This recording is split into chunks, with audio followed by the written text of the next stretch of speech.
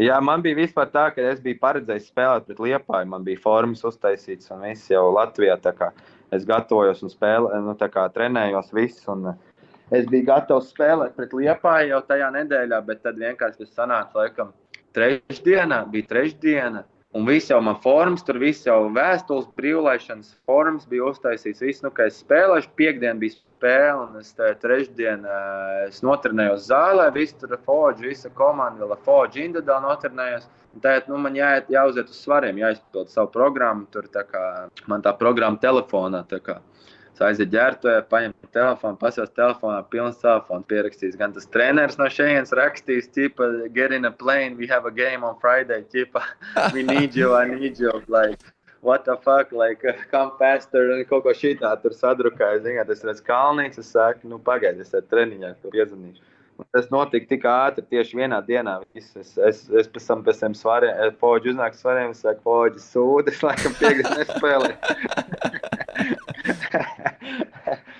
Un tad, jā, tas notika tik ātri, kad es jau trešdien pa nakti aizbraucu uz Rīgu, ceturtdien no rīta kāpu lidmašīnā, aizbraucu uz Stambulu, tur gaidīju, no Stambulas aizbraucu uz izbraukumu, kur man būs izbraukumā spēle. Tad es iegāju viesnīcā kaut kādā 11 vakarā, cik sasveicinājos ar treneru, parunāju 5 minūtes, aizgāju uz istabiņu gulēt.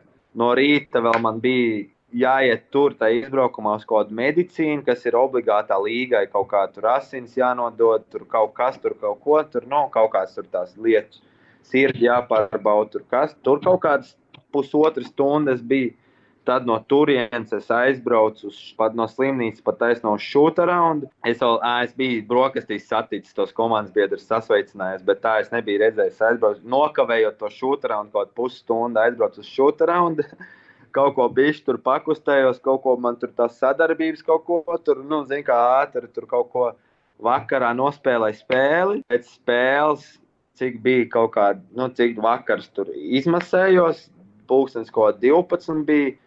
Pustrijos man bija taks uz lidostu, un es braucu atpakaļ uz Rīgu. Jo es nepaspēju ne mānus paņemt, neko visu. Tad es sēžamā svētdienā biju pa mājām, un pirmdien es atkal braucu atpakaļ.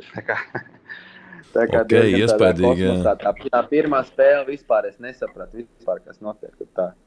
Ko Vēnspilsē es būtu bijis, ja nebūtu nekas tur uzrakstīts, es būtu nospēlējis to piekdienu spēli. Denīzlī pilsēta ļoti tālu no Ankaras, ļoti tālu no Stambulas. Nu, īstenībā līdzīgi kā iepriekšējos klubos, tādām galvaspilsētām jau tu neesi bijis īpaši tuvu arī cita, citos ārzemju klubos. Vienmēr ir bijusi. Nu, Lionā, ja godīgi, bija ļoti tā, tā, tā otrā lielākā, otrā tā nu, foršākā pilsētā Francijā. Tas tur bija ļoti, ļoti forši. Bija, cik, cik daudz sezonas laikā sanāk brīvajās dienās kaut ko darīt arī ārpus mājām?